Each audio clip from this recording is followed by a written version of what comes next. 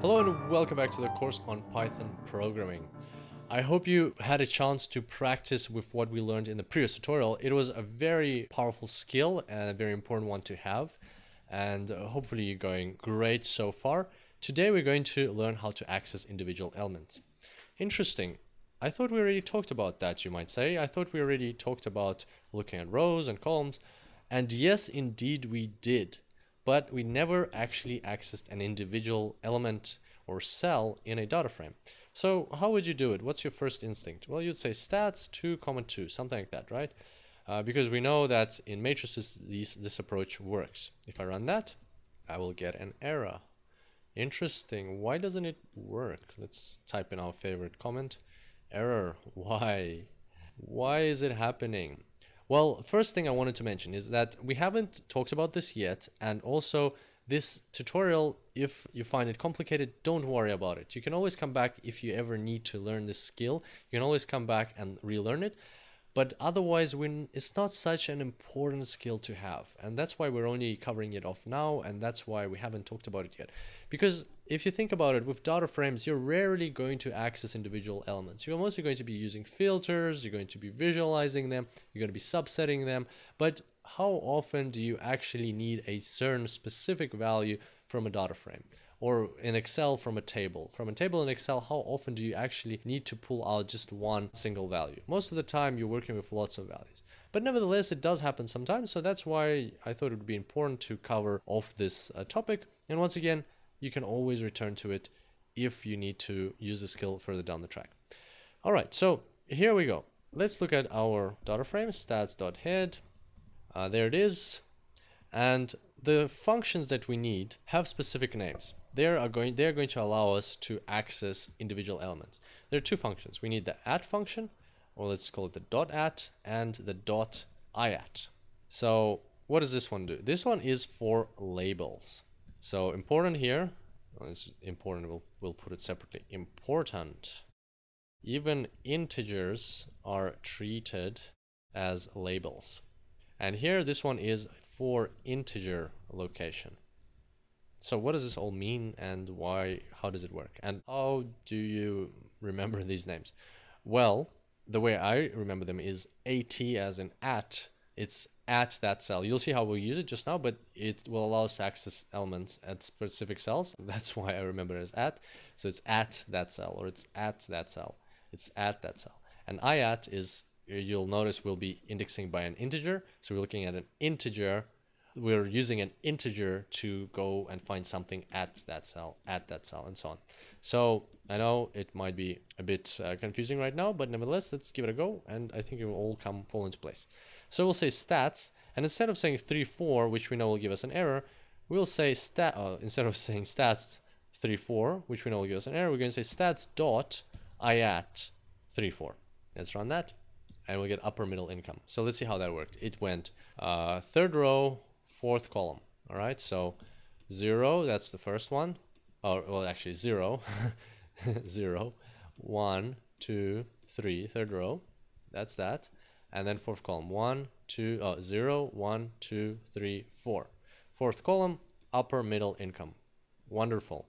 Let's try another one. Let's say stats dot iat, and then we'll say let's say row number zero and column number one.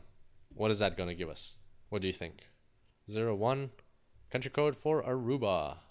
Row number zero, column number zero, one, ABW. There it is. That's what we got. Wonderful. So that's how IAT works. At this stage, you notice I actually counted. I didn't just look at the number here and you'll know, you'll see why exactly in a second but it actually counts, physically counts the rows from the top, counts the columns from the left, and it gives you the result there. That's why it's called the integer, because it counts, it counts with those integers. Now, how do we use at? That was iat, how do we use at? Well, what at does is it looks at labels. So instead of counting, it will look at the labels, and the labels here are 0, 1, 2, 3, 4, and so on. They are integers, indeed, they are integers, but they not necessarily have to always be in this place. And you'll see that in a second. Those are our integers. Those are labels for rows, and these are labels for columns. So to use at, you need to use labels. So let's say we want birth rate, And here we're going to say, first we need the row, right? So we're going to say row number two, which is the label number two. You just, you don't even count this time. You just look for the two over here. Okay, and then we'll look for column birth rate. So we're supposed to get 45.985. So let's do birth rate, run that, 45.9849999. Beautiful. That's our approach with labels. You can try another one for yourself if you like. But what I wanted to show you now is the reason why we need at, right? You, think uh, you think that you can just do everything with at. Well, at or I at, they can be useful in different cases. Sometimes you might know exactly which number row and number column you need. Sometimes you might know the labels. But there's a very specific difference between this value and this value. Let's have a look at that. The way they're treated. Why we need dot at. So let's create a new matrix. We'll say subset 10 and we'll say all of the values, every 10th value.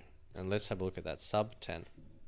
So I'm not even doing the head function here. I'm just printing out the whole object, the whole data frame. So you can see that we got 0, 10, 20, 30, 40.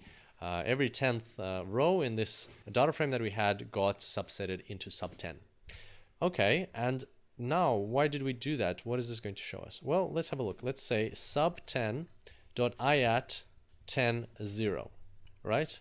So we're saying give me the 10th row or row with index 10 and the column with index 0 there uh, wherever they cross give me that cell and let's see what it'll bring us it'll give us Libya now what you would think is if you do sub 10 IAT and you do 10 and then what is the country name here country name or what is the column column 0 name it's country name You'd think that this would give you the same result, right? You're just basically saying 1010, replace the number of the column with the with the name of the column. If you run that, different result. Very interesting. Why is that? Well, because of their behavior. So what does IAT do? IAT, it actually counts. Remember what we talked about? It counts out 10. It goes 0, 1, 2, 3, 4, 5, 6, 7, 8, 9, 10. In this new object, in this new data frame, this is the row with index 10. And that's why it gives you this row and this column, column with index 0, Libya, our country name, the, they, uh, their intersection is Libya. That's why you get Libya. On sub 10 dot at, you've got 10 and then country name. But this time, as we discussed, let's go up to the top. As we discussed, dot at looks for labels. It doesn't care about their sequence, it cares about the label. So it's going to look for the label 10. As you can see, label 10 is here and country name. So you get Azerbaijan, Azerbaijan. There we are. And this behavior of sub10 at, or actually not sub10 at, this behavior of a subsetted data frame is very similar to what you get in R. In R, also when you filter a data frame uh, or subset it this way, what you get is um, these labels, they don't get updated. So definitely watch out for that. If you're going to be using at and iat, then know the difference and use the correct function when you need to access either by integers, so when you need to actually physically count which row and column, or when you need to access through the labels. There's a big difference and sometimes it can affect the final outcome. All right, so hopefully you enjoyed that tutorial and now you know how to access individual elements of a data frame. And I look forward to seeing you next time. Until then, happy coding.